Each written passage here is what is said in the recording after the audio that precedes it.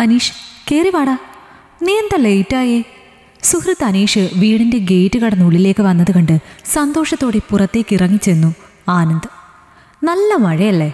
Road full ബ്ലോക്കാടാ പുഞ്ചിരിയോടെ മറുപടി പറഞ്ഞുകൊണ്ട് ആനന്ദിനൊപ്പം അനീഷ് വീടിനുള്ളിലേക്ക് കയറി. അപ്പോഴേക്കും ആനന്ദിന്റെ ഭാര്യ മീരയും ശബ്ദം കേട്ട അടുക്കളയിൽ നിന്നും മുൻവശത്തേക്കെത്തി. ആഹാ അനീഷേട്ടനെത്തിയോ? ഇവിടെ ഒരാൾ ചങ്കിനെ കാണാതെ വിഷമിച്ചിരിക്കുകയായിരുന്നു. അവളുടെ വാക്കുകൾ കേട്ട് അവർ രണ്ടാളും പുഞ്ചിരിച്ചു. അത് പിന്നെ ചങ്ക് ചങ്ക് തന്നെ. ഇവൻ ഗൾഫിലാണേലും കോളേജ് ലൈഫ് കഴിഞ്ഞ പിന്നെ ഇപ്പോഴും പഴയ പോലെ കോണ്ടാക്ട് ഉള്ളത് ഇവനോട് മാത്രം. അനീഷാണ് മറുപടി പറഞ്ഞത്. നിനക്ക് എന്നോട് മാത്രം അല്ലല്ലോ. ഇവളോടും നല്ല കോണ്ടാക്റ്റ് അല്ലേ? പെട്ടെന്നുള്ള ആനന്ദിന്റെ വാക്കുകൾ കേട്ട് ഒരു നിമിഷം അനീഷിന്റെ മുഖത്തെ പുഞ്ചിരി മാഞ്ഞു. അതെന്താളിയ? അങ്ങനെ ഒരു പറച്ചിൽ? താൻ പറഞ്ഞത് അനീഷ് ഏതർത്ഥത്തിലാണ് മനസ്സിലാക്കിയത് എന്നറിയവേ. പൊട്ടിച്ചിരിച്ചു പോയി ആനന്ദ്. എടാ വേറെ ഒരു അർത്ഥത്തിലും അല്ല. നിനക്ക് മീരയുമായും നല്ല പരിചയമുണ്ടല്ലോ എന്ന് മാത്രമേ ഞാൻ ഉദ്ദേശിച്ചുള്ളൂ. തന്റെ മറുപടി വ്യാഖ്യാനിച്ചു ആനന്ദ്. എന്റെ പൊന്നാനന്ദേട്ടാ ഇങ്ങനെയുള്ള ദ്വയാർത്ഥ മറുപടികളൊന്നും പറയല്ലേ? ഒരു നിമിഷം കേട്ടിട്ട് ഞാനും ഞെട്ടിപ്പോയി. ഇതെന്തായി പറയുന്നതെന്ന് ഓർത്തിട്ട് രമ്യയും ചെറിയ നീരസത്തോടെയാണ് അത് പറഞ്ഞത്. അയ്യോ പൊന്നെ രണ്ടാളൊന്ന് ക്ഷമിക്ക്. ഒരു നാക്കുപിഴ പറ്റിപ്പോയി. രണ്ടാളെയും നോക്കി കൈ കൂപ്പിക്കൊണ്ട് ആനന്ദ് അത് പറയുമ്പോൾ ഒരു കൂട്ടച്ചിരിയിൽ ആ സംസാരം അവസാനിച്ചു. എടാ അതൊക്കെ പോട്ടെ. അമ്മയൊന്നുമില്ലേ ഇവിടെ? കാണാനില്ലല്ലോ. ഹേ ഇല്ല. അമ്മയും അച്ഛനും കൂടി ഒരു യാത്ര പോയേക്കുക ഇവിടെ അടുത്ത ഒരു ക്ഷേത്രത്തിൽ നിന്ന് അഞ്ച് ദിവസത്തെ തീർത്ഥാടന യാത്ര. ഒരു ബസ്സിൽ കുറേ ക്ഷേത്രങ്ങളിലൊക്കെ പോകുന്നുണ്ട്.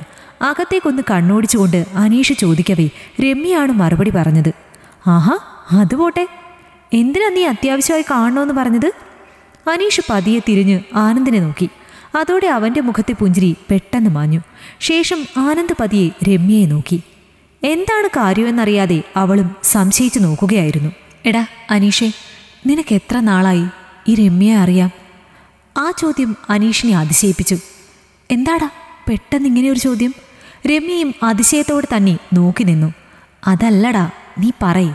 ആനന്ദ് തന്റെ ചോദ്യത്തിൽ തന്നെ വീണ്ടും ഉറച്ചു. ഡാ നിങ്ങളുടെ കല്യാണം കഴിഞ്ഞത് മുതൽ നീ തന്നെയല്ലേ രമ്യയെ എനിക്ക് പരിചയപ്പെടുത്തി തന്നത്? അനീഷിന്റെ മറുപടി കേട്ട് പതിയെ എഴുന്നേറ്റു രമ്യക്കരികിൽ ചെന്നു ആനന്ദ്.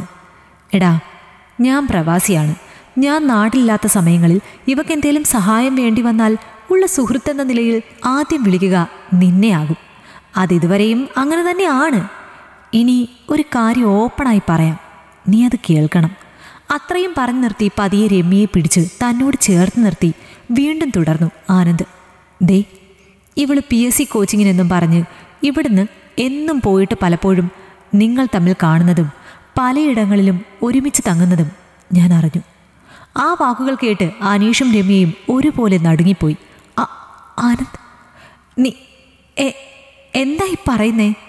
ആ നിമിഷം അനീഷിന്റെ വാക്കുകൾ വിറപൂണ്ടു. തന്റെ പിടിയിൽ നിന്ന് ഞെട്ടലോടെ കുതറിയ രമ്യയെ ബലമായി പിടിച്ചു ചേർത്ത് നിർത്തി ആനന്ദ്. നിങ്ങൾ രണ്ടാളും പേടിക്കണ്ട. ഇത്രയും നാളും ഞാൻ അറിയാതെ പല ഹോട്ടൽ മുറികളിലും നിങ്ങൾ ഒളിച്ചും പാത്തും പോയിട്ടുണ്ട്. ഇന്നിപ്പോ ബുദ്ധിമുട്ടില്ലേൽ ഇവിടെ ഈ വീട്ടിൽ ഞങ്ങളുടെ ബെഡ്റൂമിൽ തന്നെ ആയിക്കോ. ഞാൻ മാറിയിരുന്ന് തരാം. ഇത്തവണ ആകെ വിളറി വെളുത്ത് ചാടി എഴുന്നേറ്റ് പോയി അനീഷ്. ആ സമയം ആനന്ദിന്റെ പിടിയിൽ നിന്നും ബലമായി തന്നെ കുതറി മാറി രമ്യ. ചേട്ടാ ഇതെന്തൊക്കെയായി പറയുന്നത്? നിങ്ങൾക്കെന്താ വട്ടാണോ? രമ്യയുടെ ചോദ്യത്തിന് മറുപടി പറഞ്ഞില്ല ആനന്ദ്. നേരെ അവൻ പതറി നിൽക്കുന്ന അനീഷിന് മുഖാമുഖം നിന്നു. എടാ നീ ടെൻഷനാകേണ്ട ഇവിടെ ഇപ്പോൾ ആരുമില്ല. ഒറ്റ ചോദ്യം. എന്റെ സമ്മതത്തോടെ തന്നെ എന്റെ ഭാര്യയുടെ കൂടെ കിടക്കാവൂ നിനക്ക്? ആ ചോദ്യം തന്റെ കാതുകളിൽ തുളഞ്ഞു കയറുന്നത് പോലെയാണ് അനീഷിന് അനുഭവപ്പെട്ടത്. കള്ളി വിളിച്ചതായി എന്ന് മനസ്സിലാക്കവേ മറുപടിയില്ലാതെ അടിമുടി വിറച്ചു അവൻ. എന്നാൽ കീഴടങ്ങുവാൻ തയ്യാറല്ലായിരുന്നു രമ്യ. ചേട്ടാ എന്ത് വൃത്തികേടാണ്?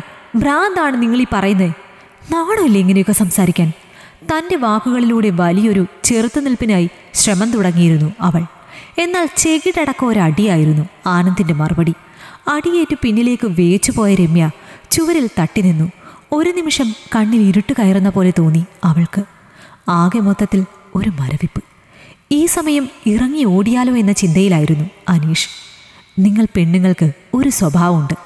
പണി പാളി എന്നറിഞ്ഞാലും വീണിടത്ത് കിടന്ന് ഉരുളും. പക്ഷെ ആണുങ്ങൾ അങ്ങനെയല്ല. പിടിക്കപ്പെട്ടു എന്ന് മനസ്സിലായാൽ പിന്നെ അവർ സൈലന്റ് ആയിരിക്കും. ദേ അനീഷിനെ പോലെ. തിരിഞ്ഞു നോക്കുമ്പോൾ അനീഷ് അടിമുടി നിന്ന് വിയർക്കുന്നതാണ് ആനന്ദ് കണ്ടത്.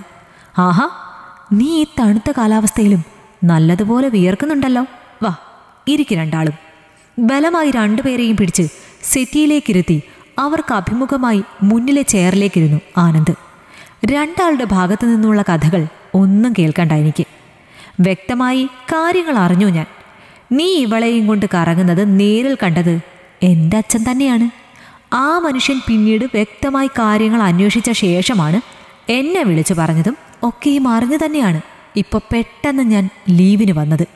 ആനന്ദിന്റെ വായിൽ നിന്ന് വരുന്ന ഓരോ വാക്കുകളും അനീഷിനും രമ്യയ്ക്കും വലിയ നടുക്കമാണ് സൃഷ്ടിച്ചത്. ആനന്ദ് ഡാ അത് പറ്റിപ്പോയി. നീ ക്ഷമിക്കണം. ആകെ പതറിപ്പോയി അനീഷ്. ഓപ്പണായി അവൻ കുറ്റസമ്മതം നടത്തവേ പിന്നെ രമ്യയ്ക്കും സമ്മതിക്കുകയല്ലാതെ വേറെ വഴിയില്ലായിരുന്നു. ചേട്ടാ ക്ഷമിക്കണം.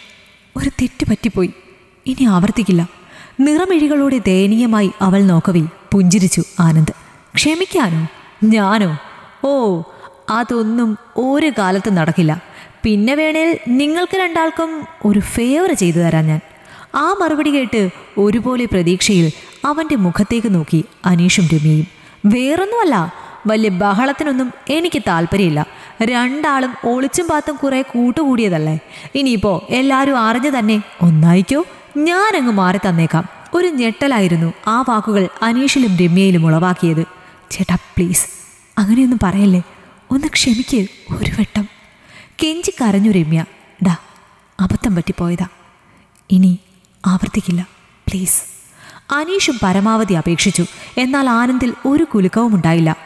വിശ്വാസവഞ്ചനയ്ക്ക് ക്ഷമയില്ല അനീഷെ. നിനക്കറിയോ ഈ വിവരങ്ങൾ കേട്ടപ്പോൾ എന്റെ ഉള്ളൊന്ന് പിടഞ്ഞു എന്റെ ഉള്ളിൽ എത്രത്തോളം വിഷമം ഉണ്ടായി കാണുമെന്ന് ചിന്തിച്ചോ നിങ്ങൾ രണ്ടാളും? ഒരു മാസത്തിൽ കൂടുതലായി ഞാൻ ഈ വിവരങ്ങൾ അറിഞ്ഞിട്ട്.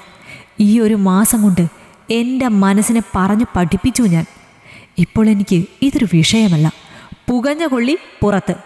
രമ്യയ്ക്ക് അനീഷിനൊപ്പം സുഖമായി ജീവിക്കാം. അതിന് ഞാൻ പ്രശ്നം ഉണ്ടാക്കില്ല. ആ വാക്കുകൾ ഉറച്ചതായിരുന്നു. ഏട്ടാ പ്ലീസ്. വീണ്ടും ഒരിക്കൽ കൂടി കെഞ്ചി രമ്യ. അപ്പോഴും ആനന്ദ് പുഞ്ചിരി തൂകി. കെട്ടുകഴിഞ്ഞ് വർഷം രണ്ടായിട്ടും. കുട്ടികളായില്ലല്ലോ എന്ന് ഉള്ള വിഷമമായിരുന്നു മുന്നേ വരെ എനിക്ക്. പക്ഷെ ഇപ്പോൾ തോന്നുന്നു അത് നന്നായി. ഒരു കുഞ്ഞുകൂടി ഉണ്ടായിരുന്നേലിപ്പോൾ അതിന്റെ കാര്യം വലിയ കഷ്ടത്തിലായനെ. അത്രയും പറഞ്ഞെണീറ്റു അവൻ. അനീഷ് എന്നാൽ വിട്ടോ? നിന്നോടൊന്നും പറയാനില്ല. ഇനി. ഒരു ബെസ്റ്റ് ഫ്രണ്ടിനപ്പുറം സഹോദരനെ പോലെയായിരുന്നു നീ എനിക്ക്. പക്ഷേ വേണ്ട. കൂടുതൽ സംസാരിച്ചാൽ ബോറാകും. പൊയ്ക്കോ പറഞ്ഞു നിർത്തുമ്പോൾ ആനന്ദിന്റെ ശബ്ദം ഇടറി. ആനന്ദേ ഡാ ഒരിക്കൽ കൂടി ദയനീയമായി അവനെ നോക്കി അനീഷ്. എന്നാൽ ആ സമയം ആനന്ദിന്റെ മിഴികൾ കുറുകി. ഇറങ്ങിപ്പോടാ ഇനി നിന്നെ കൂടുതൽ സമയം കണ്ടാൽ എന്റെ സമനില തെറ്റും. രമ്യയ്ക്കും പെട്ടി പാക്ക് ചെയ്യാം. നിന്റെ അച്ഛനോട് ഓൾറെഡി കാര്യങ്ങൾ വിളിച്ചു പറഞ്ഞിട്ടുണ്ട് ഞാൻ. നിന്നെ വിളിച്ചുകൊണ്ട് പോകാൻ അവരിപ്പോൾ എത്തും. അത്രയും പറഞ്ഞ് മറുപടിക്ക് കാക്കാതെ മുറിയിലേക്ക് പോയി അവൻ. ആകെ നിസ്സഹായരായി പരസ്പരം നോക്കി നിന്നു അനീഷും രമ്യയും. പിന്നെയെല്ലാം വേഗത്തിൽ നടന്നു. രമ്യയുടെ അച്ഛനും ബന്ധുക്കളും എത്തി. ഒരു ഒത്തുതീർപ്പ് ചർച്ചയ്ക്ക് ശ്രമിച്ചെങ്കിലും ഇനി അവളെ വേണ്ട എന്ന് ആനന്ദ് ഉറപ്പിച്ചു പറഞ്ഞതോടെ നിരാശരായി രമ്യയുമൊത്ത് മടങ്ങി. പോകുന്നതിനു മുന്നേ പലവട്ടം രമ്യ ആനന്ദിന് മുന്നിൽ കെഞ്ചി. പക്ഷെ അവന്റെ തീരുമാനം ഉറച്ചതായിരുന്നു. കാരണം ആ മനസ്സിൽ ഏറ്റുമുറിവിന് അത്രത്തോളം ആഴമുണ്ടായിരുന്നു. ദാമ്പത്യം ഒരു വിശ്വാസമാണ് ഒരു ഉറപ്പാണ്.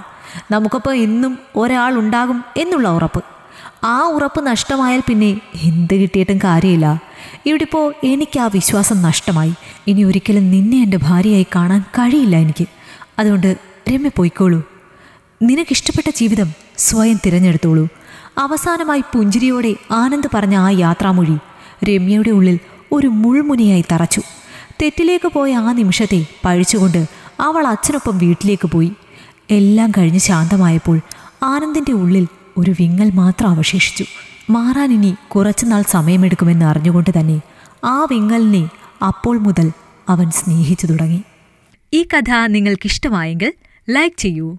നിങ്ങളുടെ അഭിപ്രായങ്ങൾ കമന്റായി രേഖപ്പെടുത്തൂ. കൂടുതൽ കഥകൾ കേൾക്കാൻ ഈ ചാനൽ സബ്സ്ക്രൈബ് ചെയ്യൂ.